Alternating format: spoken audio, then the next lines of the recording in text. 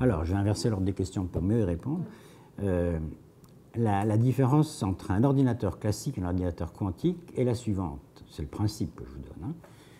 Euh, quand vous fabriquez un ordinateur classique, finalement, c'est quoi? C'est des composants électroniques, c'est des circuits électriques. Hein. Alors, un circuit électrique, ça tout le monde le sait très bien, il y a deux possibilités. Vous avez fermé l'interrupteur et la lampe s'allume, le courant passe, ou bien vous avez laissé l'interrupteur ouvert et la lampe s'éteint, il n'y a pas de courant qui passe. Autrement dit, un circuit électrique euh, ordinaire, il a deux états possibles. Euh, le courant passe ou le courant ne passe pas.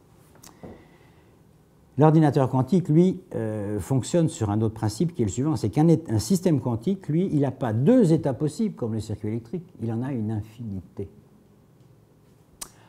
Alors ça, je dois dire, je ne peux pas, euh, je suis incapable d'expliquer ça sans écrire des équations, comme ce n'est pas le but de l'opération, je vous demande simplement de me croire. Donc la différence, la différence circuit classique, circuit quantique, c'est que le circuit classique a deux états, ouvert, fermé, l'ordinateur quantique a une infinité d'états.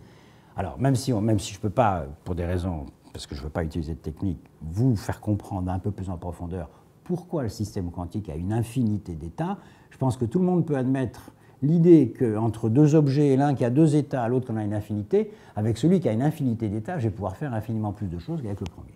Voilà, c'est toute la base, c'est tout le principe, le concept de l'ordinateur quantique. Alors, euh, ce qui est extraordinaire d'ailleurs, c'est que cette, infinité d'états possibles avec l'ordinateur, avec un système quantique, vous pouvez la réaliser avec deux objets seulement. ça paraît extravagant, mais je prends deux objets. Je dis parce que c'est ce qu'on appelle des états en théorie quantique, mais je prends deux objets. Avec ces deux objets, je suis capable de fabriquer une infinité d'états. Alors, pourquoi c'est si difficile à faire? C'est parce que pour que les deux objets que je viens d'évoquer Hein, qui peuvent, avec lesquels je peux fabriquer une infinité d'états, ils ont, on dit l'union fait la force, c'est vrai, ils arrivent à fabriquer une infinité d'états à condition de garder une cohérence entre, entre eux. Hein, si l'un se fait faire n'importe quoi par rapport à l'autre, la cohérence est perdue. On appelle la cohérence de phase. Donc, il est crucial, si vous voulez utiliser un composant, entre guillemets, pour, fabriquer, pour faire du calcul quantique, il est fondamental de conserver ce qu'on appelle la cohérence de phase. C'est-à-dire que les deux objets continuent à se parler la même langue, c'est ça que ça veut dire.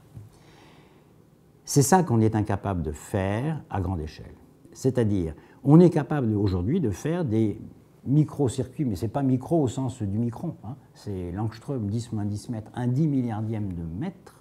On est capable de, faire, de concevoir des circuits, entre guillemets, où la cohérence de phase est préservés et où donc avec, avec, lesquels on peut donc faire des composants qui vont euh, mimer les opérations logiques euh, fondamentales, c'est-à-dire oui, non, et, si, ou, puis toutes les combinaisons possibles. Ça, on sait le faire, mais à une échelle, comme je dis, microscopique. Et quand je dis microscopique, c'est vraiment pas le micron.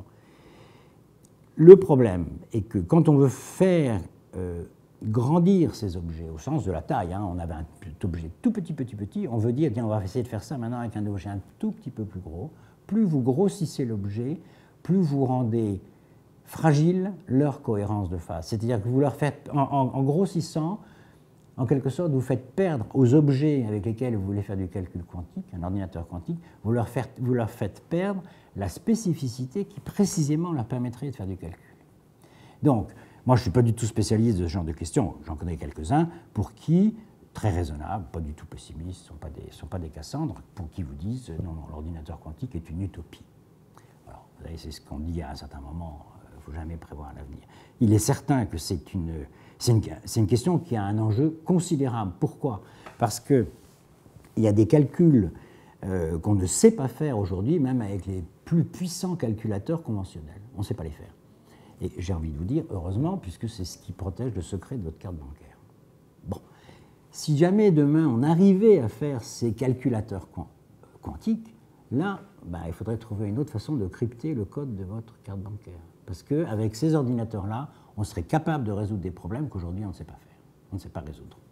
Donc l'enjeu est considérable. Bon. Mais je vous dis, pour les spécialistes de la question, qui moi me paraissent très raisonnables, c'est vraiment une utopie, mais totale.